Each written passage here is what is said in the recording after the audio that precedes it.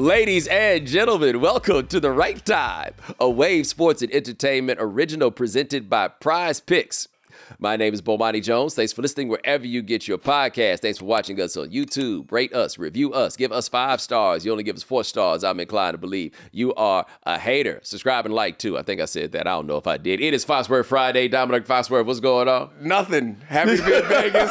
The, the energy is good in this room. It is good in this city. And it is good with you, my man, Yo, Bomani yo, Jones. yo, it's like we got two things that are very interesting going on here. Number one, this is like the second time that we've ever done an episode in the same room. The first time we've done it in the same room without a live audience. Yeah. So, like, I guess this is a momentous occasion of sorts. Another thing that happened is the other day I did the show from my house in a t-shirt. Somebody pointed out, and they are correct, that I never do a show in a t-shirt. I always got a hood on of some sort, which is entirely, um, you know, looking out for me and my physique. But you know, since your boy been, you know, Yeah. pushing him up a little bit, I decided to go a little harder, let y'all let y'all see what was going on here. You know what I'm saying? Nothing wrong with showing off a little bit. You earned Yeah. it. Let them see it. I'll be honest with you, it was a little bit less showing off than it is. Okay, I think I've moved like more into the confidence interval of human bodies, right? like, like I moved into the space where this is not necessarily going to be something that makes somebody say nothing about what is going on, right? Like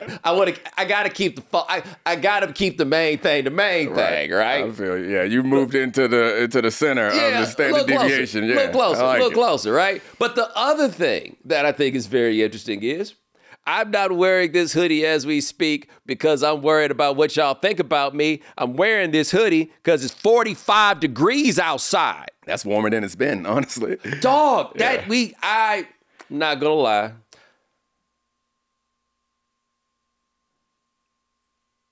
I ain't have to come do this. You know what I'm saying? right, right. I could see lots of ways that it would be beneficial to the show and, of course, to the company. I could see all those things. But if I was staying at home, wouldn't have been such a big thing. But I'm in New York. It's Las Vegas. I figured I could get a little reprieve from some New York. No, that's not what happened at all, dog. When we got here on when I, when I got here on Tuesday, it was like a bunch of rain, and I guess the rain from the West Coast had moved over, and it was funny. This city is not prepared for rain in any way. Nope. Like they had to shut off lanes of the street coming in because it was too much rain. Yes. I saw a lady outside with a broom sweeping rain. like it's it's outrageous. I guess is if we got 120 degree Yes. heat on the East Coast, which I guess it can get up to pretty hot out here sometimes, maybe we would respond the same way and they would laugh exactly at us. it. But right now, y'all was not ready for this rain. No. They shut down all the little like escalators that are outside and stuff. Just everything I shut got down. news for you, dog. This place has got its charms. Don't get me wrong. Oh, yeah. But if it rained here a lot, would nobody live here? That's fair. You know what I'm saying? It's like when you're in Miami and it's a gr- it's like a cloudy gray day outside. What's the fucking point of this? well, this is different though because you can you can spend a week in Las Vegas and never see the sun. yeah, yeah, yeah. But that's as a visitor. yeah, yeah. Oh, right? Oh yeah, you talk about living As yeah, a yeah. local? Yeah, yeah, yeah, yeah. Right? It's like as as Raleigh and Durham got bigger and bigger and they started getting traffic. I was like, hey, hey, hey, hey, hey. This place has got a lot of charms to it. It's got a lot that I like about it, but I damn sure don't. It ain't enough going on here to justify a traffic jam. what are you talking about? It's like they they were doing a little too much. They thought that they had enough leeway. You think you're good enough a significant Yeah. other that you can get away with some things. Yeah. You can't. You don't make enough money. Yeah. You don't look good enough to get away with this traffic Raleigh, Durham. You can't provide me nothing that I got to put up with. You know what I'm saying? You can give me a lot of stuff to appreciate, some things I might wish were Right. better, but not such a big deal. But if I got to put up with it, You better have some Michelin star restaurants if I gotta sit in traffic. You Yes. gotta have at least four or five stars in your city if I gotta sit in traffic. You need some shows. I need people to come check you out. I got uh who somebody reached out to me to tell me that that Mobile was mad at me because I guess last week I said oh, that, they told you? Yeah. Nobody hit me up. Oh yeah, last week I said that if I was Jerry Jones, I wouldn't be in Mobile. Yes. I stand by it. Double down on that. Eh, no disrespect to Mobile. I'm sure it's a fine place. However, if you can go anywhere and you're not from Mobile, ain't nobody going to Mobile. And I'm from Baltimore. Nobody tried to go there either. I didn't mean it as a judgment. I don't live there. I grew up there and I You now live 45 minutes away. you're damn right. And I love Baltimore in all of its charms. However, I mean, if I could choose to be in a like a legit major city, I would prefer to be. I'm gonna tell you this. You say that about Mobile. We ain't about to say it about no Montgomery. no sir, Bob. We all learn. My Montgomery, Yeah. body, body. Yeah. you, you, you I feel safe there. is that you get off the plane if you can. You, you okay? See, let me be careful. Let me be careful, Bud Montgomery. I'll be honest. I'm assuming you have an airport because you a state capital, but I really don't know. Like I don't want to be presumptuous, but I'm assuming that you got no air your airplane. Either way it goes, Domonique show up. It's gonna be like Eddie Murphy Raw talk about showing up in San Francisco. Somebody gonna throw that hat up, and they gonna let him know. Yeah, I don't want no problems with nobody. I'm past the age where scuffling is ever necessary. I hope. Yeah, I guess there there could be some things that people could do, but I'm trying to talk my way out of all beefs at this point. Hey, what's the most interesting thing, by the way, live from Las Vegas that you have seen since we got here? Most interesting. See, that's the thing is Las Vegas is like New York in that you don't even remember the wild things. Like there was, I remember I would walk to work when I lived in New York, and there was a guy doing pull-ups with a watermelon on his head and no shirt on at 6:30 in the morning, yelling Bible references. And I never told my wife about it because it's New York. But if I saw that once in DC, I'd have called all my friends and be like, "Yo, guess what's happening right now on 17th Street? It's a dude doing pull-ups with a watermelon on his head." And that's how I feel about being in Vegas is I can't even remember all the ridiculous things that I've seen just because it's like it's like seeing a tree. I want to tell this story. It's not about Las Vegas. It's not about New York. It's about Memphis, right? Because it's in line with what you're discussing. But different cities have different thresholds for different things that elicit the reaction that we're talking about. Because I really don't know what it take to make you stop what you're doing in New York, right? Like you might remember it, you might mention it to somebody, but for you to like stop and be like, "Yo, The last time I was in New York, I went to get a late night slice of pizza. There was a man standing there with his pants all the way down. It's like 20 degrees. He had a heavy coat on, pants all the way down, all his business out. I only remember it because it was the last time I went there. the time before that, I'm sure something just as ridiculous I was having an argument with a woman once on the street in New York, and back and forth. It was kind of getting somewhere, and she's like, "People are looking at you like you're crazy," and I was like, "No, they're not." like, never mind the fact that I don't think that I was going that far in the Yeah. first place. Like maybe I was wrong, right? Yeah. I will entertain that possibility. Yeah. That's about self awareness, but I also got New York awareness. They ain't looking at me like shit. What are you talking about? Yeah, they, in New York, you blend in. You can get away with just about anything. It's definitely just people peeing in the middle of the day. Just just walk up and pee between cars and just don't care. It is at once the most public and private Yeah. place in the world. Everybody can see you, nobody's looking. I mean, if you're looking, then you just got there.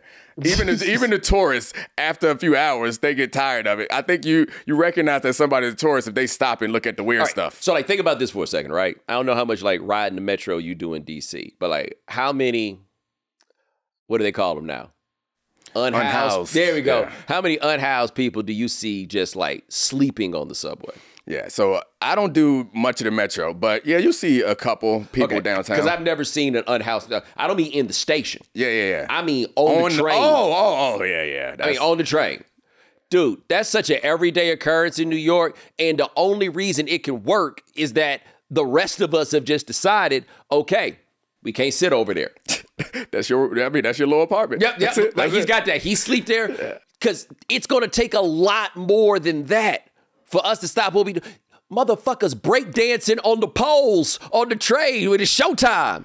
It's to take a lot more than that. Yep. Every week when I take the train up from uh, DC, there's a, a a platform, and so they got the Moynihan like the newer station. Of course, I go to that side because I ain't trying to go through Penn Ooh, no, Station. that's, and- the, that's the single worst place in Yeah. Manhattan. I would If- just throw that out. If I can avoid Penn Station, I will. And there's always like a little deck, and people are practicing. There's like a dance practice. Are you serious? Every night, and like professional dancers, like they're really talented dancers, but they have decided that they are going to unofficially rent this space right here, and just be working on ballet and stuff, doing all types of impressive, incredible dances. I believe that they must be going somewhere the, show, else to perform. they, they the Showtime. No, they got to be. They got to be the Showtime people. right? They're not trying to make money. They're doing a dance practice for a performance at some no, other no, big no, no. I'm talking about. Oh, I forgot you don't live in New York.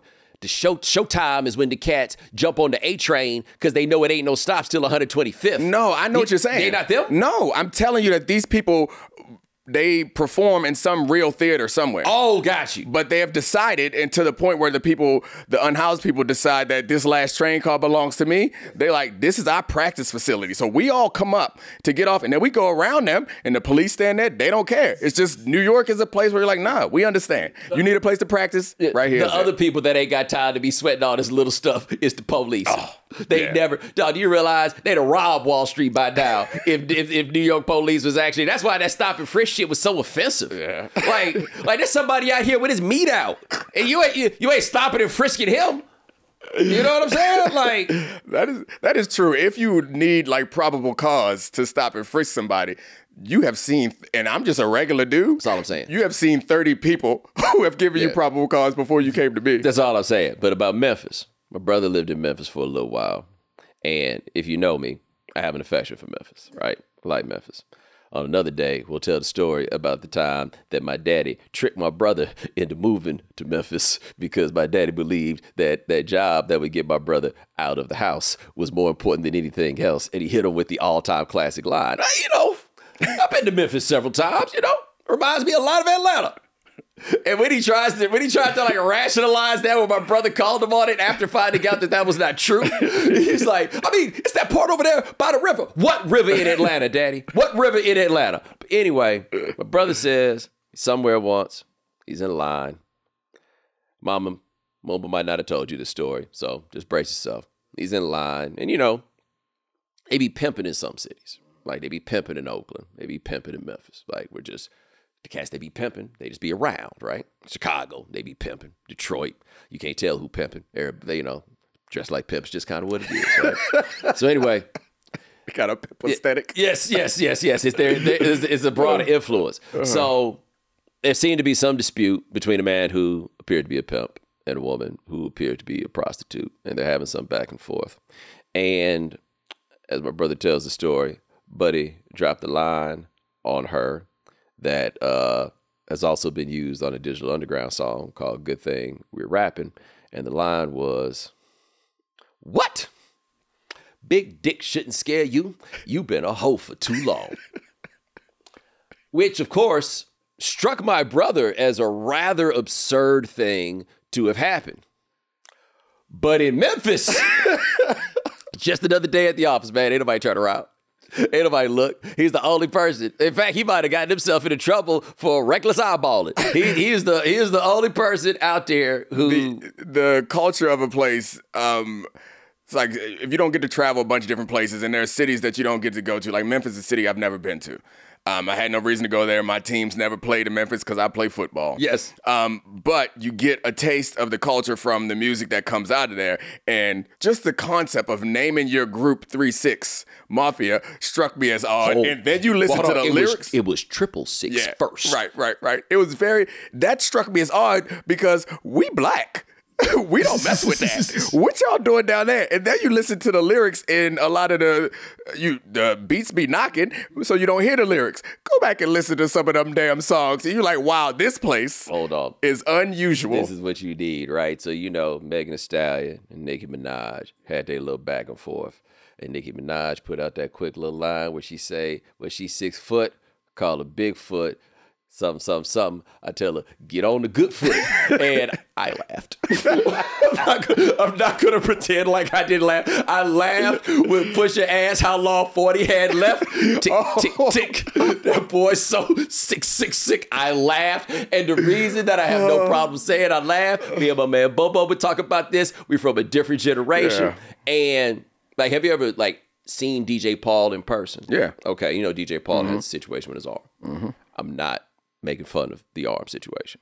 However, I believe it was Kingpin Skinny Pimp who did make fun of the arm situation in the song that was called Do the Lit Arm Dance.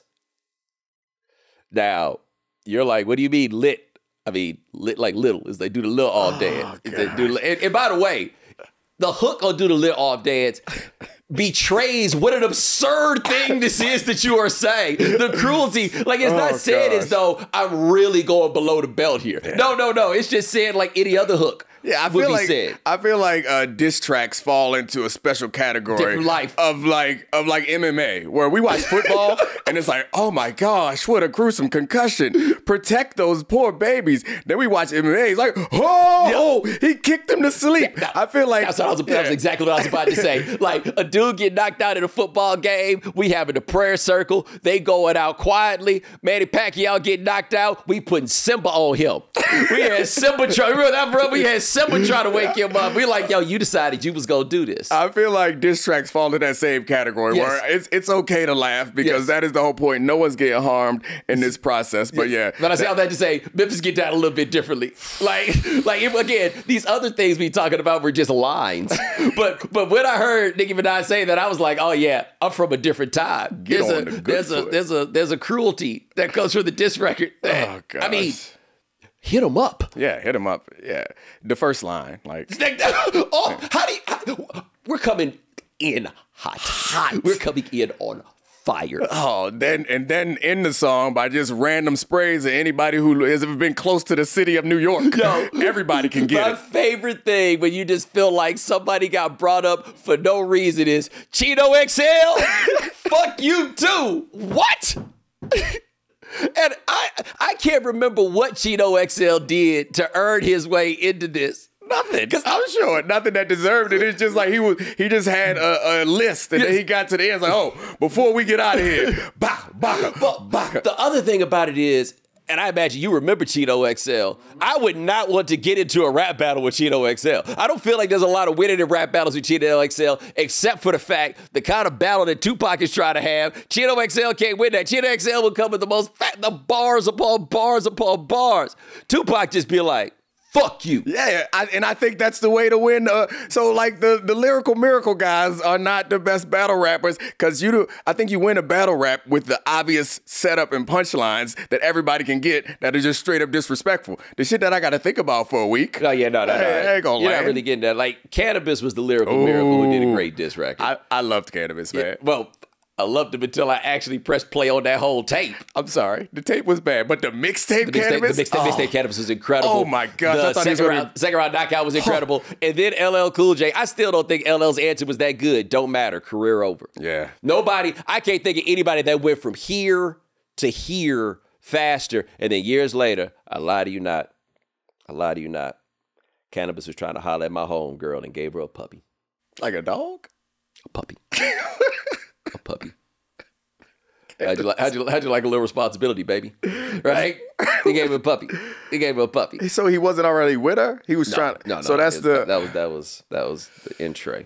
Oh gosh, Canibus. That was the way to get in. I was. I- Canibus also had a song about coming out the womb. Uh, oh my gosh, he needed an editor. he, he needed more than an editor. He he needed like yeah. Can we just pretend that mixtape Canibus was the only one that ever existed? Because mixtape Canibus was so good. He also said that he and Common were your worst nightmares, nightmare squared. That's double for those of you who aren't mathematically aware. And the nerve, like if you just said it was double, Yeah. I might have just been like, "Hey, we all make mistakes," but you tried to be patronizing about it. I did. That was unfortunate. Hold on, it's double to those of you who aren't mathematically aware, which is to say they don't know no better.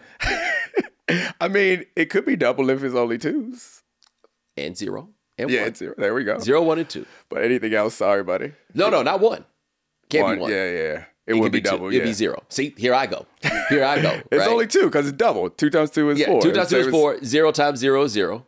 Zero it's not plus- double. Zero plus zero is zero. Two times zero is zero. Double zero is zero. Okay, Yeah, I'm yeah. with you. Yeah, yeah. There we go. Just go on for more millennials than Mazda got in their car lot. Yes, I used yes. to love Canibus, man. Yes. By the way, Him we and- never got around. I was I I saw something in Vegas. All right, so I'm, I'm, I'm up in the air right now, Domonique. I need Mm-hmm. to know your opinion on this. Oh, you up in the air? Here's what I mean. Like in a I mean, like a flight? No. Okay. All right. I thought you were going for the other other up in the air, which you know. Oh yeah, yeah, yeah, yeah, yeah, yeah. Have you ever seen that clip? Well, I don't want to talk about it now because I'd be telling myself. But damn, what was I gonna say? Uh, Something about being okay. Vegas. Oh no, no, no, no, no. So here's the thing.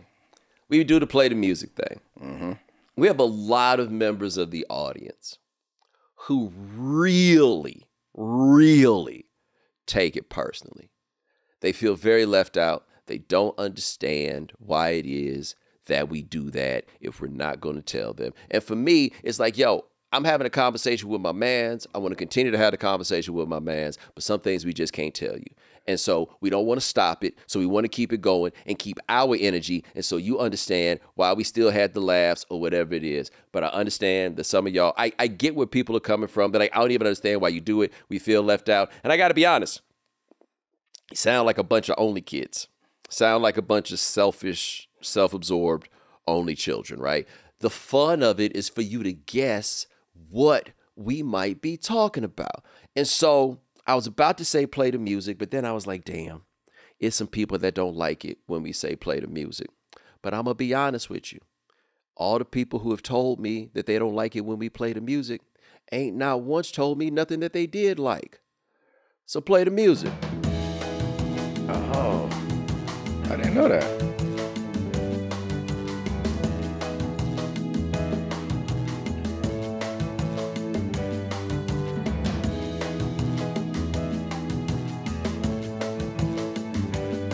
Yeah.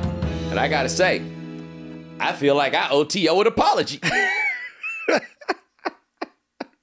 Yeah, I ran See, into that's how there, we should do this, by the way. That you got to admit, now that you heard me say, I think you owe T.O. an apology, you're intrigued now. And you ga- like this. and you gave them enough information that they could formulate uh, a, A little reasonable, bit. yeah, A reasonable bit. theory. Yeah, I didn't know that truth about that guy, and that's really unfortunate. really and sad. disappointing, right? Yeah, because yeah, yeah, they need to do more than that. They're gonna need, and I, and it, that's a, a terminology that I think a lot of us use, but we don't mean that. Well, I need I need to know more about that. You know what I'm saying? Like just tell a one one check Mm-hmm. is not I got a residual check the other day for five dollars. Like it's yeah. a check, it'll cash. So I had that's funny that you bring it up because I had a similar conversation at a party I was at last night, and I, I won't expose anybody on this one, but s- there was people there from LIV Golf at the party, and they were like handing out cards, like making friends. And one of the people that I was with is uh somebody in well, I wasn't with them, but they were at the party. I had me talk to them.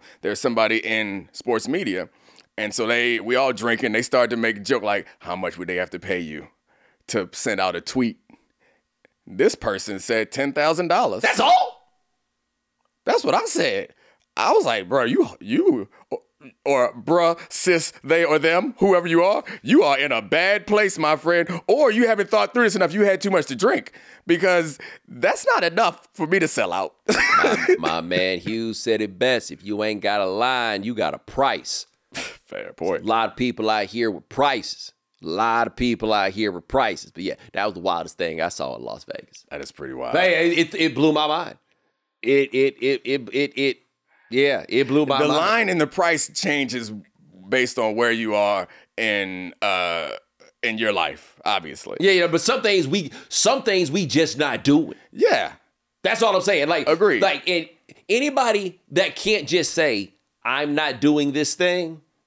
Like there's some things I'm looking at you. If you just can't, like if you would, like I agree. I'm trying you. to be empathetic. Yeah, yeah. I, I agree with you that there's some circumstances in some places where it's like I can't say anything to you about this. Like honestly, I got I got too much money to be judging people who have to do things Right. for money. But that's not what we talking. Yeah, that's the thing. And I, uh, in my attempt to be as empathetic as possible is you may not have other skills or other avenues. Yeah. And to maintain things that you have put it. Yeah, I can't do it, man. you got you got to draw the Yeah, line, you gotta draw a line You gotta somewhere, draw the line somewhere. You gotta draw a line somewhere. And you Uh, gotta go s- hit knock on Denny's door Yes. and see if see if they need me to flip some Yes. some, some pies. That's right. That's right. Shit. Can't be this. Can't be this. But I yo, can't do that. we gonna get back here. We have an actual Super Bowl to talk about. Oh, yeah. We may talk about some football. Big game is right around the corner. PrizePicks is the easiest and most exciting way to turn every game changing moment into 100 times your money. With as little as four correct picks, you can turn $10 into 1,000. You just select two or more players, pick more or less on their projected stats, and place your entry. If Patrick Mahomes throws for more than one yard in the big game, you win on PrizePicks. It's really simple to play. You can make your picks and submit your entry in less than 60 seconds. And if you stick around for the end of the show, you'll get to hear some picks from our producer Sean that can either help you win or make you fail miserably. So make sure you go to prizepicks.com slash Bomani and use code Bomani for a first deposit match up to $100. That's prizepicks.com slash Bomani. PrizePicks, daily fantasy sports made easy.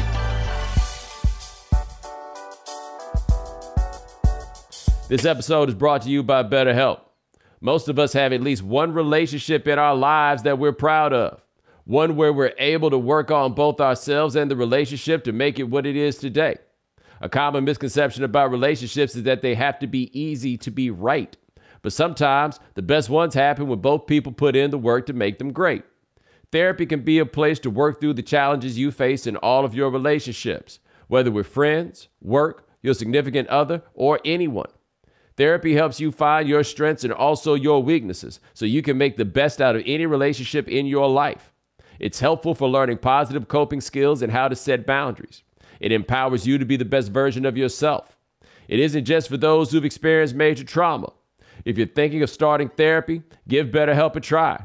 It's entirely online, designed to be convenient, flexible, and suited to your schedule. Celebrate the progress you've already made. Visit betterhelp.com slash Bomani today to get 10% off your first month. That's betterhelp, H-E-L-P dot com slash Bomani.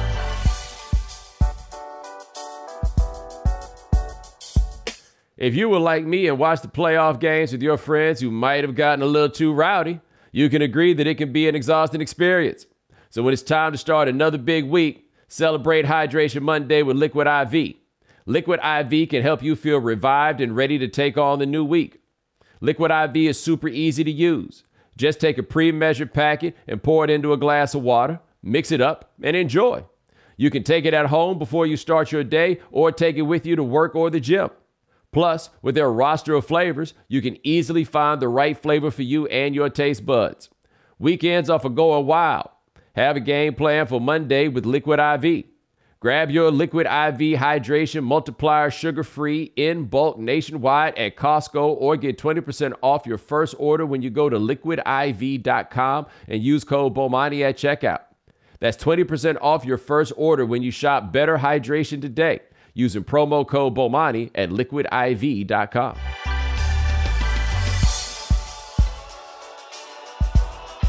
All right, Domonique, it's the Swifty Bowl. I feel like Taylor Swift ain't even here yet. Big star of the whole situation. That's yeah, she's not because I know we all heard about her concert in Japan, right? So she's definitely not here yet, but she's looming over all of this. It is amazing, man. It's a, because we talked about before how every city that the Super Bowl in becomes like a tiny Super Bowl city, except for that time when it was in New York. And it's interesting to see that obviously Taylor Swift is not bigger than the NFL, but her size combined with the novelty of having a star like this involved with it has kind of made it like a big imprint that's over all of this is like Taylor Swift's here. It's but what what makes this so weird is Taylor Swift is huge. Yeah. I do not want to God, I don't want to discount that because I ain't got time for this. You know what I'm saying? Like, I need y'all to hear and understand what I'm saying. But Michael Jackson, for example, for oh. example, cut across demographics. I would even make the argument like Madonna cut across demographics. Like the base there is heavily female, but she meant something. Yeah. Like Madonna was not siloed off Right. from men in a way that if you were to like we're in the more si- most siloed era of all this stuff. But I would say that Taylor Swift has more fans than call it Drake. I would say that Drake has a broader swath of fans. Like, you know, like there's a whole Yeah. You you, you see where I'm coming what from saying. here. Yeah. I mean, you can't. Yeah. No, no one compares to Michael Jackson. Yes. Because of the time period. I Correct. think. And the, right. But the, and- right. But. I'm just trying to make a point to delineate like what Right. Taylor Swift has and what I think makes it interesting is it's additive. Yeah. Bringing the Taylor Swift fans in Oh, yeah, yeah, is yeah. Not like lighting up the people that are already here. So like when you have Michael Jackson do Super Bowl halftime, the Michael Jackson fans was probably already watching Super Bowl, the Super Bowl, and they're sticking around because he's doing halftime. The Taylor Swift fans are like, okay, so on fourth down you have to kick it, right? Oh, you don't have to. That's interesting. Then why did? Oh, okay. Not every Taylor Swift fan, to be clear, but you could tell by the way the broadcast handled it earlier or whatever. We are adding whole new people to this thing. That's interesting. I hadn't thought about it that way and how it's uh, such a perfect uh, corporate relationship Yes. too, and that it, it in the NFL is in this quest that all companies are in to make more money than they did last year all the time. Except the NFL being as big and successful as it is, Right. they're getting to the point where it's like, but it ain't no more money. Why don't we play a game over there? Why don't we play a game over there? See if we can find some more money. And there are small pockets left in America where people don't care about football. Not anymore. Hey man, let me tell you this though. Travis Kelce, I'm not saying that they will break up. I don't want to say this like it's a foregone conclusion. But he need to retire before they break up. Because if they break up and he is still playing in the NFL, if you think they not about to burn this bad boy down, you crazy. They gonna put Andy Reid's mama address on the internet. Like whatever goes bad with them, we need this to happen after the fact. I also wonder this. I feel like we find out about like the Taylor Swift relationship stuff in the songs from what people tell me. Because I'm not I'm not saying this to brag about Right. it. It's just the truth. I've heard that Shake It Off song before. I don't know anything else about Taylor Swift's music at all. I just never got around to it. Like when she was first rising and climbing, it never dawned on me that this thing would still be going on so long that I would probably need to tap in. Yeah, and You it know? was it was country, so it wasn't for us. Yeah, but shake I- it off goes hard. By the way. Yeah, but That- at the same, dude, I was listening to a Waylon Jennings album this morning. Like I'm willing That's to, true. I'm willing to go to the other places. I just never, I just never got, I never got over there. And I guess at some point, maybe I need to, but I just, I don't know her music Yeah, in either. that way. I've also completely forgotten the point that I was going to make off of that. Oh, it's about the fans. I think about their commitment to this. which- Oh yeah, yeah, yeah, yeah, yeah. Look, man, um, I could be wrong here. It seemed like Adele only make a record after it's over. Like for all we know, the happier Adele and Rich Paul are, the longer y'all gonna have to wait for an Adele record. And honestly, I don't even know how she'd be singing them sad ass songs while she happy in love. Like I wouldn't think she want to go back to that place. But whatever. It seemed like with Taylor Swift, they find out the stuff about the dude she dating after she was done dating them, right? And they, they say that you catch all your little strays and all that stuff coming through the music. And I asked this for the Taylor for the Taylor Swift fans. I don't know this. I speak from ignorance, and I tell you this. Like, does she have a a lo- like a, a a straight ahead I'm in love album? Yeah, I have no idea. But she's coming out with an album now because she announced at the Grammys, and this has to be a Heard that. straight ahead I'm in love album. This might be the first one. Or Or we're going to learn a lot about this relationship that we didn't know. It all looks so good on the surface. It'd be, it'd be like, do you remember when we just knew that Beyonce was doing something on HBO one night, right? Yep. We didn't know what it was. Oh, we just knew she was doing something on HBO. And I don't remember everything that happened, but I remember when she said, uh, was it, am I, uh, what's better, being jealous or crazy? And she was walking around fucking shit up with a baseball bat. And I was like, oh, buddy. And then I saw Jay Z looking older than he ever had in that undershirt, oh, looking, God. looking, looking like a sack, looking like a sack of dirty socks. And they was hugging and everything else. I was like, oh, buddy, you made mistakes. you made big mistakes. And then she, it, then she made him go on tour where she was singing X Factor every single night. And I know your life, your wife loved Lauryn Hill so much that she flipped me to bird over it the first time we ever met. But I think you know, you walk in the house and X Factor is playing, buddy. You you did it wrong. yeah, um, the idea that Travis Kelce is taking this amount of risk for love is amazing to me. Because I there's want no song about You know what I mean? Like there is a, a general risk that you take in going to any relationship, but you're taking that risk because the upside is so great. Yes. However, the downside normally isn't as scary as this is. this is tough because we talk about sports fans and like they're crazy. And even we recognize that as crazy as football fans are in America, we recognize that there are even wilder fans in like European soccer teams and stuff. But I don't know that there are fans that are more obsessed Yeah. with something than they are with particular celebrities. Correct. Because they don't win or lose, they don't change people. They feel like they family and you known them forever and you grew up with them. Travis, you better not. Yo. You better don't. Yo, I tell you this though, he's handling this well. And by the way, as we are currently in a venue, in a venue Oh, yeah. adorned with all the Kelce brother um, material, it's a whole nother discussion. They work at the same place that I work. Yeah. And let me tell you something. I walked up in the studio and looked on the walls, and I said it walking in, and everybody laughed. because they knew it was true. I was like, I know who pays the bills around here, and it ain't your boy. I have it's, look, it's been yeah. a long time since I felt more like I don't even know if I'm Horace Grant. I was about to say Scottie Pippen. I don't know if I'm Toni Kukoc. I might be just Steve Kerr over in the corner. I perform a specialty. I'm out here for the smart people, yeah. right? Like I don't know what it is, but they asked him asked him about if it was unfair that he has to answer these questions about his personal life. And he said, nah, just, you know, this is something that people are interested in and they enjoy it. So I'll go ahead and do it. Very well played, very non football yeah. sort of answer. Like Bill Belichick would have just, I can't imagine how Bill Belichick would have handled any of it. Wow, why didn't Taylor Swift date Gronk? That would have been the best. Think about that for a second. If we got Taylor Swift and Gronk. Oh gosh.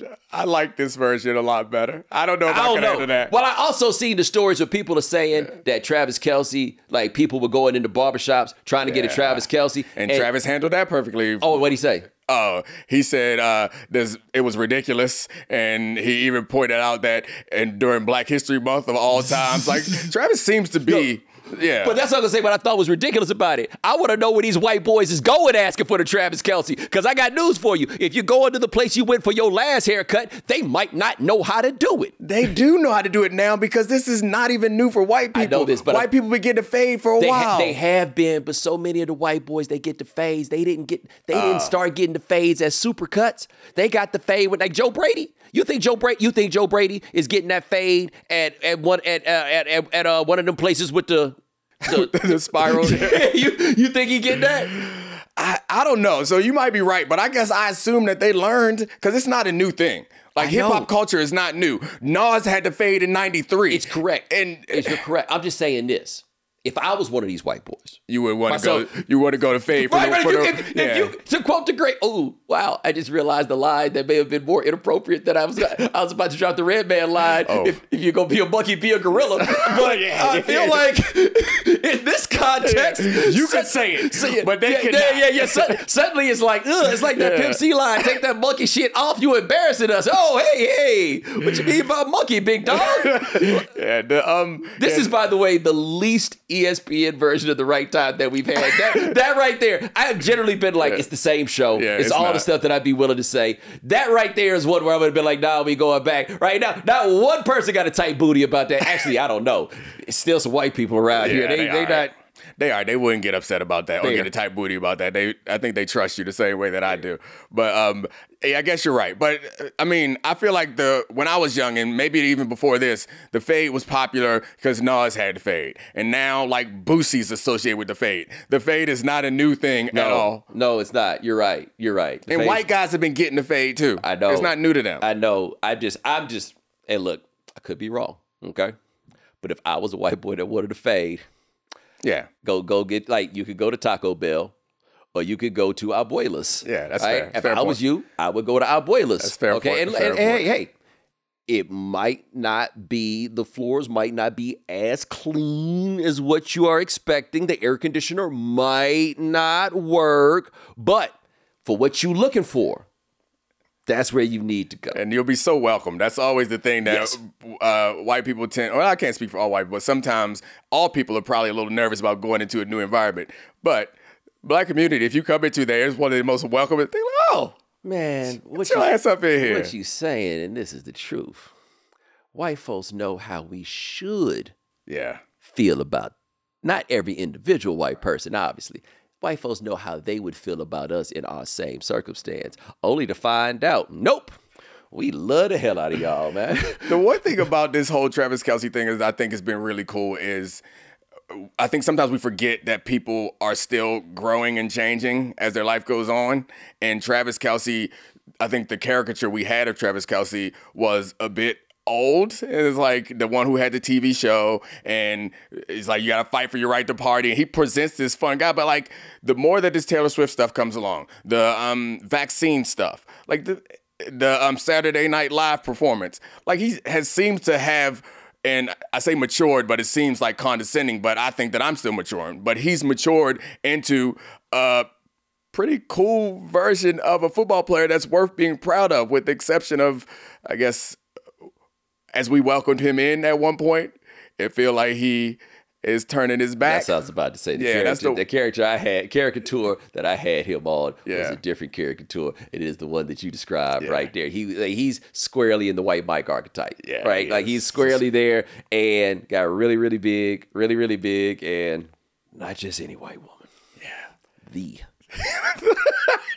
the, the, the, the, the, the. Like honestly, the only famous person I could think of with that like that level of closeness to blackness to get a white earth woman was when Tiger Woods went and got him a woman from from from, from from the goddamn Caucasus Mountains. No, he went and got, he went and got his woman out of a stream. Tiger Woods went to the factory. Yes, he did. But I like, tell, you, nah. I tell you this though, if you go do that, he did. Like, like, like he was just like, no, no, no, no. Don't. He oh, was he was like sparing no expense. Or Yeah. not expense is not the way to put it, but you know what I mean. He was just Right. like, no, no, no, no, no. Give me the what kind of ideal is the platonic ideal? That's what they call it. Yeah, but he had some some taste that was That's not a different discussion. That's a different discussion. yeah, People got what they like and what they love. They're not always the same thing.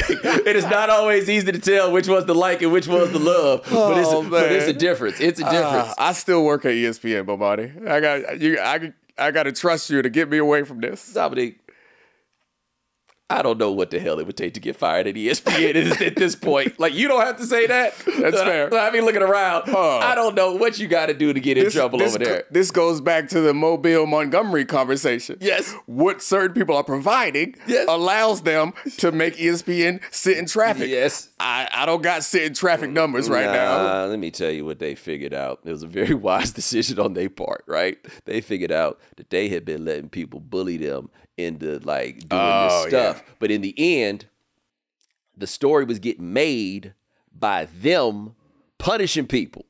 And so if there is no headline for the punishment, everybody move on. Ain't no such thing as scandal no more. Scandal. Separate the politics from it. I don't care who you like. I don't care who you vote for. I don't care what you think. It's a dude indicted that's going to run for president like he's not under indictment. Ain't no such thing as scandal. No more. Scandal is over. It's a wrap on that. I can't think of what you'd have to say to get fired at that point. See, this is where we disagree. Is I still think it goes down to it comes down to is uh does Montgomery or does uh Raleigh Durham have nice enough restaurants for me to sit in traffic? Fair, It's like fair, there is fair. one article about me is Fair. will have a different impact than one article about someone who is bringing in millions of dollars for this company. So scandal or not scandal, is it worth a headache? Fair, fair, fair. And I don't want to find out if I'm worth a headache or not, honestly. It's a great point. Because I don't know that I am. It's a great point. It's a great point. It's a great point. I'd also say, in line with what we we're discussing, maybe at some point, point, it's not your fault. It's definitely my fault. I'm driving this train. We ain't taught the dollop of football yet. I don't think me and Nate taught the dollop of football. Well, we talked football, but we didn't talk about this actual game. I mean, if uh, people want football analysis, there are plenty of places to get it. We fair. can give it to them here too if they want it. But I am curious though, because I think I said with Nate on the show, I was like, I decided that Chiefs Bucs game, I ain't even think about it. It was like, I ain't picking against Patrick Mahomes. And then I saw Mike Remmers was playing left tackle and saw the error of my ways. And then I'll say this again. Saw the most incredible performance that I've ever seen relative to the statistics that you saw. I still can't believe that when he went Matrix sideways, threw it through people, and I couldn't even be mad at Buddy for dropping it because why would he think it was possible? Did you? The crazy thing, and this is off topic a little bit, but Spencer Hall sent me a video of Brock Purdy doing the exact same shit in college. The pass was not nearly as accurate. I was about to say but exact is a stretch, Yeah, but- he, he he did the parallel Yes. matrix pass Yes. too, which is funny because we always talk about him as a game manager. But yeah, that game for Patrick Mahomes is like it's like the 13 second game for Josh Allen, in that we left thinking, oh, your team may have lost, but whew, you, won. You, you, you, you somebody. Yeah, you the MVP of this in, in, in my book because that game is one of the most incredible things. It was multiple passes where he just was running to the right, dropping left, hitting people in their face mask. It's like, how are you doing this? Parallel to the ground passes was crazy. He was doing everything he could. And every time he was dropping back, it was looking like that scene in the Dre Day video but Easy E rolled up in the spot and was like, and then turn right back around. Everybody was after him. It was, it was outstanding what he was doing that game. It was not impressive what they were doing at the line. They have made modifications, I think, to Yes. support the tackles in this game because the tackles aren't great and 49ers got good pass rushers. But we saw last week there's a lot of 12 personnel. I expect to see a lot of tight ends on the field, and they're going to do this little uh, methodical offense that they've been doing. And he don't throw the ball to the other team. It's the craziest part. And that's like if you're not going to make a mistake and your defense is really good and you have the best closer in football, like you're inevitably going to keep the game close. And that's a bet I'll take is Patrick Mahomes against anybody with six minutes to go and the score tied. Dog, it's like I think the way I put it is I saw him like I told Nate, I was like, it's like he's he's like controlling a game in the way you think of basketball players controlling the game. But now that I think about it more, it was like he was controlling the game like dad in the driveway basketball. Yeah. Just back you down. Nothing you can do about it. Back you down. I can shoot the J. I can do all this other stuff. But nope, I'm just gonna back you down. Back you down. And I think their talent is is such that they are a team that could get blown out, but they're not going to get blown out because of the way that they play. Because if you think about it, the way that blowouts happen is turnovers and short drives, and he's not going to do that. Like he's going to get a couple first downs. He's going to eat up some clock. He's going to punt the ball, kick a field goal, score a touchdown. Next thing you know, the game is almost over, and you got your quarterback, and they got their best one. And if that if that is a strategy, it's a hell of a good strategy. Get to the clutch moments with the most clutch player that we have seen since Tom Brady. Well, let me ask you this, because I think this is probably the most important part of the game, because Mahomes is just kind of a given, right? Yeah. Your man Spags, the mm-hmm. man who cooked Tom Brady twice in the Super Bowl, Yeah. on the other side against the homie Brock Purdy. That's what I'm very curious to see here, because I feel like Purdy the sort of dude that you can bait into doing foolish things, and he throws a lot of. Uh, y'all trying to catch the like y'all. Try, he will. He is like. There's a lot of guys like this. Jay Cutler's an obvious example. Carson Palmer's another. I'm gonna give you some chances to win. Yeah, you just gonna have to take them. And it's a different kind than both of those guys because they had bigger arms, and Purdy doesn't have that. But the thing about Spags and that defense is they are a really intelligent defense, and they're a, a versatile defense. So it's not a ton of super like dominant talent over there, but they're so smart that they can do different things in the course of the game. So I'm watching the game from last week and they're doing things that I'm watching three and four times and I'm having a hard time to identify exactly what the coverage is. Imagine and they and they hadn't done it before. So like imagine Brock Purdy in a situation or anybody in that situation or Lamar in that situation. We saw Lamar holding on to the ball forever. You know why? Because they was back there doing hybrid coverages that didn't look anything like it. And he's like, all right, the fuck is this? and and I would be like, please just run Lamar or just throw it somewhere. But he just back there trying to figure like, it no, out. hold on, hold on. Let me, let me- let me just, just figure this out. Like, I, got- like, I, I, I got to get to the bottom he's of this. I'm close. I got it. I got it. Give me one more second. Karlaftis on his back. Sack fumble. It's the whole time. It's like this is a time test, buddy. You don't get as much time as you want. And I could see Brock Purdy because he's different than Lamar. Brock Purdy's not going to be like that. Brock Purdy's going to be like, this is a time test. C D B A. I ain't reading these questions. I'm throwing this ball. And you notice that Kyle Shanahan in a lot of the games, and this is one of the ways that people find to like uh, criticize Purdy is Kyle Shanahan. It depends on how you use it, how you um, phrase it, but you could say that he doesn't always trust him, or he's trying to protect him from himself. Because you can see very conservative play calls through the course of the game, which I think is probably smart for a player like you have to manage the quarterback. It's probably smart for a player like that, and eventually you might have to take it off and say, "All right, do your thing," but I'm gonna need you to throw some check downs to McCaffrey. If that dig ain't wide open, tuck it and run because there will be confusing coverages and there will be times where Trent McDuffie is coming from the right side of the field looking like he's blitzing to go to the deep half on the left side and you're going to think that you just got a busted coverage and he pop up and get the ball thrown into his chest. Well, let me tell you this. I can see an argument that Kyle Shanahan a little worried about Brock Purdy at points, but I've seen what it looks like when Kyle Shanahan is scared of his quarterback. It don't look like this. That's true. We saw it with Jimmy. When he is scared of his quarterback, baby, he is scared. Now, maybe they was behind by too many points for him to succumb to the fears and then go a whole half without running the ball. But I also feel like this game, I ain't talking about that this mu- this that much. This game is kind of a celebration of diversity. Yeah. I want you to think about this, right? Mm-hmm. Brock Purdy, he's kind of the mobile quarterback, right? Like, like you don't think about him in those terms, but that's what he's giving you. They got the white dude that's the best running back in the NFL, and let's be honest, man. I'm trying to think of the other white dude playing running back, and I and I mean running back. I don't mean one of them like them dudes where they chant his name every time he get the ball because he only get it two three times, right? I mean, an actual. In fact, they, they got the they got that guy, the use Yeah, check dude, yeah, that's him. and then they got him. Okay, uh, what you call it, George Kittle. Yeah. it's a lot of speed in that in that in that white man. Look, Iowa, Iowa, the DEI program. We Yep. done talked about that, right? we done seen that. I, I don't know if they, that other McCaffrey. I guess he wasn't a good enough wide receiver, but they'd have had him out there, right? It would have. Then you look over there on defense, and you don't think about it as much. Damn, uh, Nick Bosa, Bosa. yeah. that that is a black man. That is, I mean, there's you got Hutchinson, you got Hendrickson, you got Maxx Crosby. Like these dudes Yeah. are out here, but that's a black dude position. Yeah, it's a newer newer wave. It's the style of play too that is like it's much like the quarterback. It's Yes. like Purdy is has a more athletic style, and then that defensive end, outside linebacker, pass Yeah. rusher is uh explosive athlete and it's normally not what we associate with those pass rushers. And if we're talking about diversity that's one thing that goes underreported i think about the 49ers is they are filling the league it's like the launching ground for a lot of black executives And they say, coaches. I saw they said with- in the Seth Wickersham article that just came out that teams are a little frustrated with the 49ers because they keep getting all these compensatory picks because they keep sending out all this diversity through the league. By the way, they got a really good linebacker who went to BYU. Now he black, but that don't change the fact Nah. that's more diversity. Um, they got the Polynesian dude playing safety, but he hurt, right? Hufanga, yeah, he hurt Yeah. Okay, so we got that. Now we go over to the Chiefs.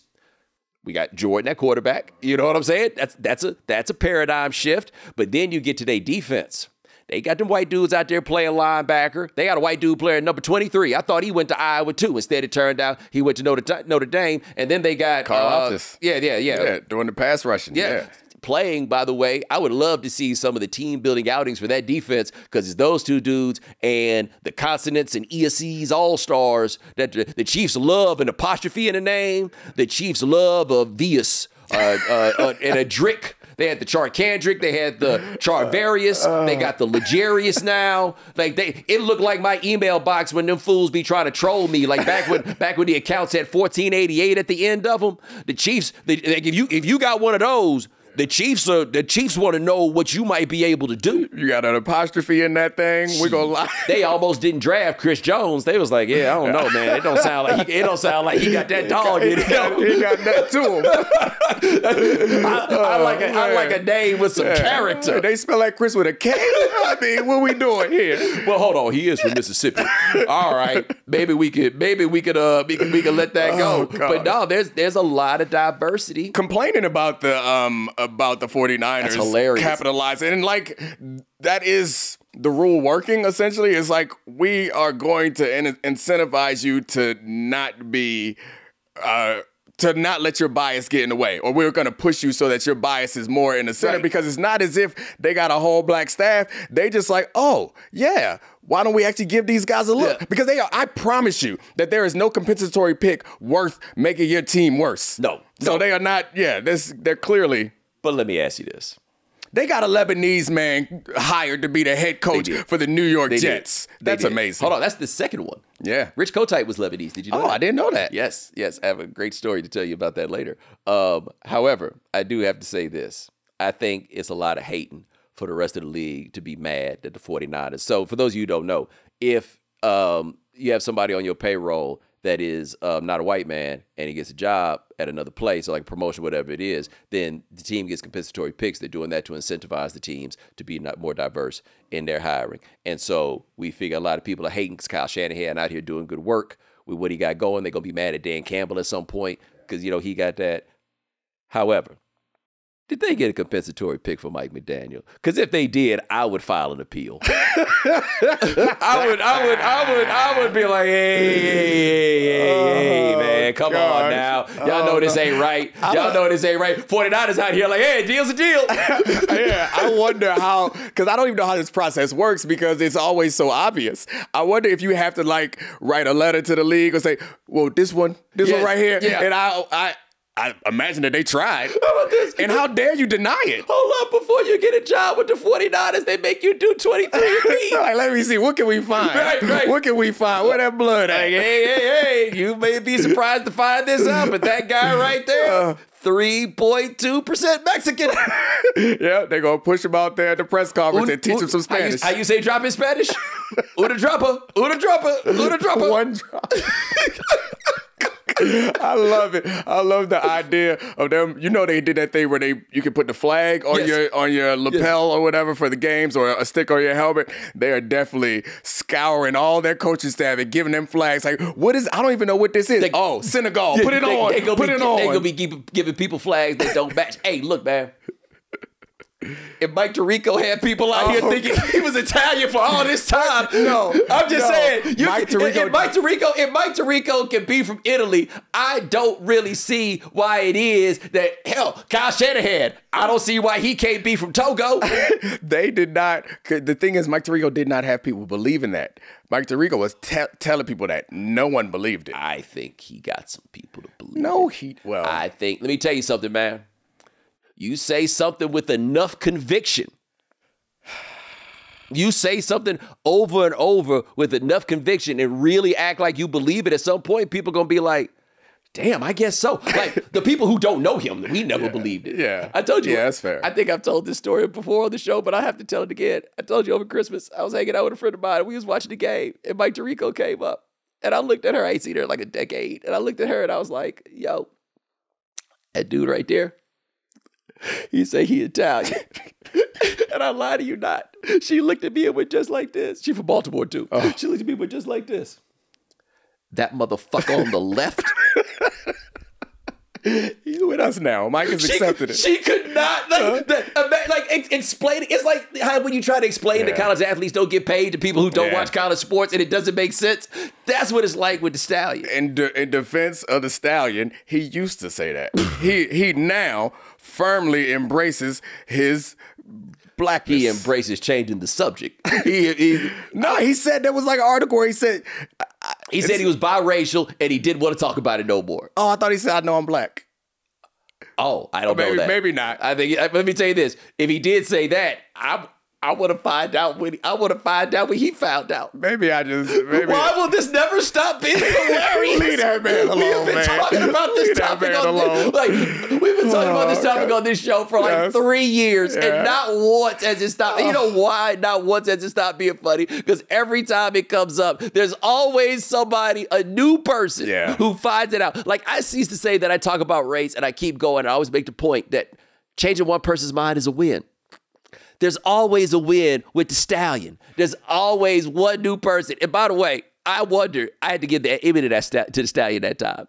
I don't know what the stallion would have done if it wasn't the stage, because I'm sure I got the feeling from when I gave him that Emmy, somebody told him I've been out here talking about him. And I, I have to say though, if he had a problem with me being out here talking about him, I got news for you, partner. Everybody else doing it too. I'm just doing it where you can hear it, and I'm funnier than them. That's all that comes down to. Oh man, uh, you seen American Fiction? I have not seen it yet. Okay, it's, it'll be good. You'll like it when you see it. Um, it's a good movie. It's not exactly about this, but uh, uh, what's his name? Jeffrey Wright. If the Stallion ever had a movie, I feel like Jeffrey Wright would play the Stallion because he look a lot. I mean, they I got can see that. I, oh, he he's he, he could get there. Yeah, he could get there for sure. And Jeffrey Wright's hilarious. I would love to see that made for TV movie. So let me tell you something funny in line with that. Got me calling him the Stallion. but uh, let me tell you something in line with that. So I was on the plane, and a buddy of mine suggested that I read this book called Erasure, and Erasure Mm-hmm. Yeah, is the source for American fiction. Um, I am not finished with Erasure, but I have to tell you, from and I have not seen American fiction. They do not seem to have very much to do with each other, with hundred pages left in this book. But part of it is halfway through. It's basically like a parody novel and it's written in Negroid gibberish, right? And so I'm reading that, and somebody in the seat next to me, and I notice they looking over at what I'm reading, and and and the pages that I'm reading, man, they look mad slave, dog. They, Yeah. they they look real slave. I had to stop and explain. Yeah. Hey, so this Yeah. book is the source for American fiction, and this portion of it is merely a parody. I like I I. I don't know if I was being judged, but I felt terribly judged in that moment. Like, what you be like? What like? It was Yeah. written in such a way to be like, if you read, why are you reading? Yeah. right. Yeah. Like, why, are you reading this? that um that plane situation is something that we've all I think had to deal with with watching movies on the plane because if you watching a movie on a plane you don't realize how uncomfortable some parts of the movie are till you start getting uncomfortable with that part is on. Like there's a sex scene in a movie on the plane and you watch on your iPad. I feel so embarrassed and I feel like you probably felt the same way. Like I'm not a perv. It's just it's just a, it's just a page. It's just this page. But yeah, after seeing the movie, I know exactly what you're talking about. I haven't read the book, but I know the parts of the movie where they are kind of making a joke out of the like anti-intellectual, I guess, yes. novels that are very much written to the co- lowest common denominator as yes. caricatures of like yes, and it looked like I was people. reading one of them. Yeah, and you're like reading a page that is devoted to that. And it's like, oh, this man sitting next to me is reading a book that's written by Mammy, apparently. Yes, like it's written in such a way that yeah. like I can't believe you are reading this and you own a Kindle. Yeah. like you are invested enough in reading books that you got a tool to make it easier. And uh, this is what you out here reading. I love the movie. I think you'll like it too. If That's Cor- Corey did that, right? Yeah, Corey did it. Yeah. He's he's trustworthy. That's his first attempt at it. That it's pretty impressive. You'll yeah, like I'm gonna give it. I'm gonna give it a look when I when I when I when I get the chance around it. I'm gonna finish the book and then I'm gonna go do that. Uh, should we give him picks or something? Sure, why not? I think the Chiefs will win. Yeah. I think that's what it comes down to for me. Also, is I'm gonna go with Patrick Mahomes. I'm just not, I'm just not yeah. putting my money against that. I tried that in the AFC Championship game, and it was a horrible decision. It was. Yeah, I thought that they couldn't win that game. Uh, it, yeah, and I think that it, it, what it comes down to is what I said earlier. Is I think that if the game is close at the end, I trust the Chiefs and their experience and their quarterback more than I trust uh, the other side. And I do think that the only way the game is not close is if the Chiefs turn the ball over, which it's not going to be a, a, Patrick interception or a Patrick sack fumble. Right. It's going to have to be a Pacheco fumble or a Rashee Rice fumble or something like that. So if they manage to not turn the ball over, it'll be a one score game in the fourth quarter, and Patrick Mahomes is who I'll pick. All right. I'm say this last thing before we get out of here. I want to send a shout out to all the Detroit Lions fans, and I'm talking about the ones that are here because your I people. I see that. That's my people, man. I need to highlight them. We all need to get together. We need to have a brunch or something because, like, I see was you know they bought the tickets. I don't blame them, right? Because again, worst come to worst, you get a weekend in Vegas, right? And so they deep here. And I bring this up like not to antagonize the Lions fans, right? I bring it up because it reminds me. Um, I went to that Super Bowl in Atlanta, and them Saints fans were so sure they was gonna go, and then you know it was that situation where it was a horrible call, and they did not call pass interference, and the Saints ultimately did not make it to the Super Bowl. And all of that is to say, I did not bring that up to antagonize the Lions fans. I brought that up to antagonize the Saints fans. Do you remember that time? Like, put this camera square right here on me. Do y'all remember that time that y'all thought that y'all was really going to go to the Super Bowl? Y'all had it rolling. Y'all was all the way down there, and then they made a bad call, and you kept arguing about, oh no, the call wasn't bad. They changed the rules because the call was so bad. And you would think that I would try to argue it was a bad call. It was a good call. No, it was a terrible call, and that was the best part. You deserved to win, and you lost you lost. And they all went to the Super Bowl and they was wearing Saints gear. And I just couldn't understand why why you want to walk around looking like a loser. Right? Like, like I was like, I put on my loser suit and I came to the stadium. The Lions, they look like upstarts. They look like they going somewhere. They look like they visualizing the future. Y'all was just losers. A bunch of sorry losers. And you lost. you know where the Super Bowl is next year? It's in New Orleans. I need to be careful because I love New Orleans, but New Orleans is way too dangerous for me to be popping this kind of shit. That's like, what I, was saying. Like, honestly, though, I feel like the people in New Orleans that I need to worry about yeah. ain't listening to no podcast. But at the same time, I told you this. I need to put it in more appropriate terms for this medium. I ain't met a sucker from New Orleans yet. Nope. Not one. Still no looking. matter who it is from New Orleans, I don't care how nice they are. I don't care what you think. That dude will kill you.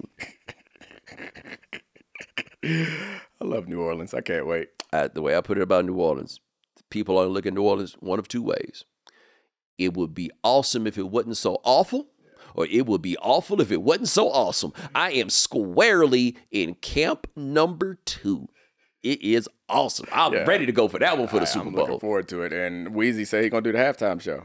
I mean, I'm I didn't know that he had the authority to make these nah, decisions. Nah, I think he said he wanted to perform at the Super Bowl. I mean, look, Jay Z, Jay Z, come up with that, right? Yeah. So maybe Jay Z could put him in, and don't strike me as a one uh, as a one man decision. I would guess it doesn't. Weezy got enough hits. I was about to say, yeah, like, it's not unreasonable. You can't make the like. There's not a real solid argument against it, and quite honestly, the white acts that would fit the bill kind of dying, right? Yeah.